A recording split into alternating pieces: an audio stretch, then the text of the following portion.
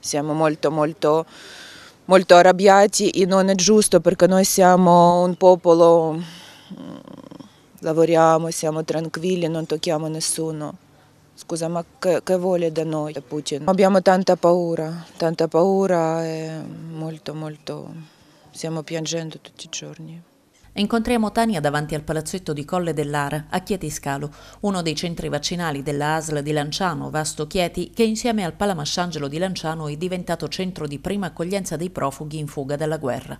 È qui che, grazie a un lavoro di sinergia tra ASL, comuni, questura e prefettura, i cittadini ucraini ricevono una prima assistenza sanitaria, espletando contestualmente anche le prime pratiche burocratiche necessarie alla permanenza. Dopo un primo tampone di controllo per escludere la positività al Covid, i profughi vengono identificati e registrati dalla postazione mobile della questura, a cui fanno seguito il rilascio della tessera STP, acronimo che sta per straniero temporaneamente presente, e una prima sistemazione di concerto con i comuni e con le realtà assistenziali del territorio.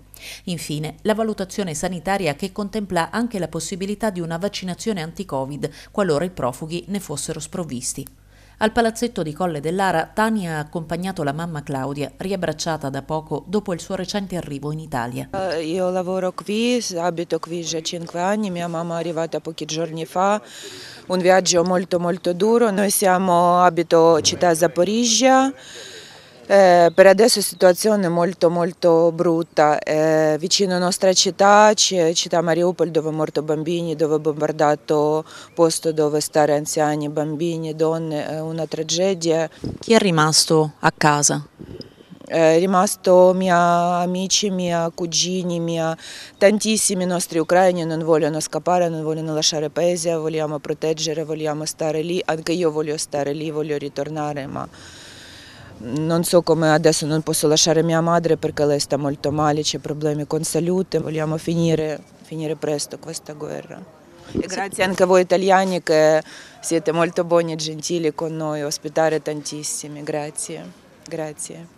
Si affiancano alle istituzioni in questa rete di assistenza anche le associazioni di volontariato come quella di Luca Fortunato, responsabile della capanna di Betlemme e dell'associazione Papa Giovanni XXIII. Tutta Italia, ma anche in Abruzzo e anche in provincia di Chieti, le associazioni di volontariato si sono mosse anche prima delle istituzioni, così come i singoli. E questa è una cosa bellissima, tra cui la capanna di Betlemme della Papa Giovanni, ma anche la protezione civile, veramente fantastici. E eh, quindi sì, noi personalmente siamo circa di volontari, almeno una quindicina coinvolti e poi anche alcune famiglie strettissime. Ci sono anche alcune attività, penso alla Magic Basket Chieti, alla Ripa Calcetatina che hanno dato già disponibilità per accogliere bambini gratuitamente in attività sportive. C'è una bella rete di volontariato che si sta facendo intorno e in più i comuni hanno avuto mandato insomma, dalla prefettura per trovare ogni sindaco nel proprio comune la disponibilità di famiglie che accolgano nuclei familiari o che mettano a disposizione alloggi, però questa disponibilità passa solo attraverso i comuni quindi questo è il canale diretto.